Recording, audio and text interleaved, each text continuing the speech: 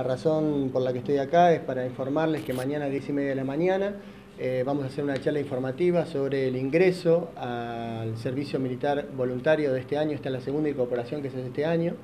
Eh, queremos convocar a los jóvenes entre 18 y 24 años a que se puedan sumar a esta nueva experiencia, una, experiencia eh, importante para sus vidas porque más allá de un trabajo nuevo donde van a poder tener acceso a una red social, un sueldo y una carrera para toda la vida, eh, ustedes aparte van a poder acceder a una vida nueva, una vida diferente, con distintas expectativas.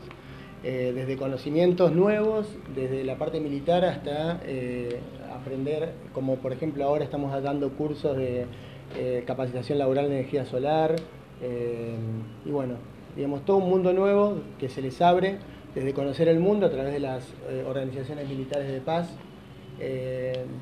conocer nuevas personas, etcétera. Salir un poco de, la del, del, mundo donde viven para abrirse un poco a, esta nueva expectativa, a esta nueva idea.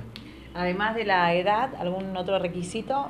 Sí, ser argentino, nativo por opción, bueno, la, edad de los 18 a los 24 años, eh, tienen que reunir unos requisitos físicos y psíquicos que se le van a hacer una vez que se hacen este, digamos que llenan los formularios, que se, haría mañana a 10 y media de la mañana, entre otras cosas la charla, y se, van a llenar los formularios, eh, se hacen este tipo de, análisis, etcétera.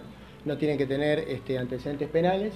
Y bueno, luego de eso, una vez que terminan toda esta etapa de selección, de preselección, se hace una instrucción militar, básicamente, que son ocho semanas, donde eh, se los forma eh, como soldados y luego van a las unidades. La idea es que la gente de la zona eh, pueda acceder a eh, esta unidad militar, la Compañía de Ingenieros Paracaidistas 4, que queda acá en el camino de las 100 curvas. ¿Se acercan jóvenes? Sí, hay muchos interesados. Mañana a 10 y media de la mañana tenemos previsto que haya mucha convocatoria. Y bueno, siempre hay mucha expectativa con esto, pero lo que siempre eh, quiero dejar en claro que más allá de un sueldo, esto es una vocación, es una, una vocación donde uno puede servir a los demás, puede ayudar a los demás y, puede crecer uno personalmente.